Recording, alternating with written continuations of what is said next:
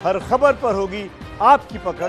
Download कीजिए ABP live app क्या दिल्ली में कोरोना बम फूट चुका है? क्या मुंबई में कोरोना आउट ऑफ़ कंट्रोल हो चुका है? ये सवाल इसलिए है क्योंकि दोनों ही राज्यों के मुख्यमंत्रियों ने साफ़ साफ़ कह दिया है कि कोरोना के सबसे भयानक वॉर के लिए लोगों को तैयार रहना होगा।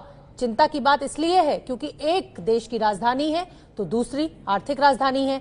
और यही दोनों शहर कोरोना से सबसे ज़्यादा प्रभावित हैं। तो बड़ी खबर देश में कोरोना के मामले दो लाख छियासी हज़ार के पार पहुँचे।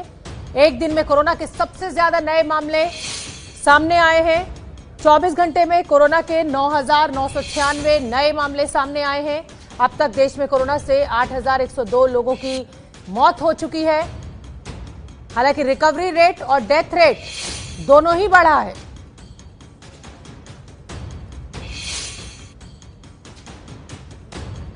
तो चलिए अब आपको दोनों ही शहरों के आंकड़े दिखा देते हैं। एक देश की राजधानी और दूसरी आर्थिक राजधानी।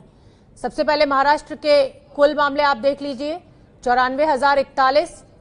ये मामले हैं। तीन हज़ार चार सौ अड़तीस लोगों की जान चली गई है। जो लोग ठीक हुए हैं, वो भी एक बड़ा आंकड़ा है। चौवालीस हज़ार पाँच सौ सत्रह लोग। उपचार के बाद ठीक हुए हैं।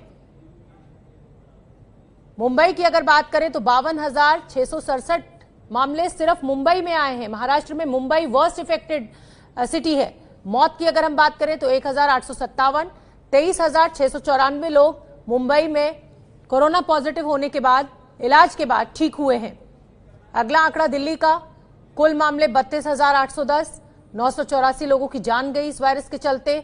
बारह हज़ार दो सौ पैंतालीस लोग ठीक हो चुके हैं।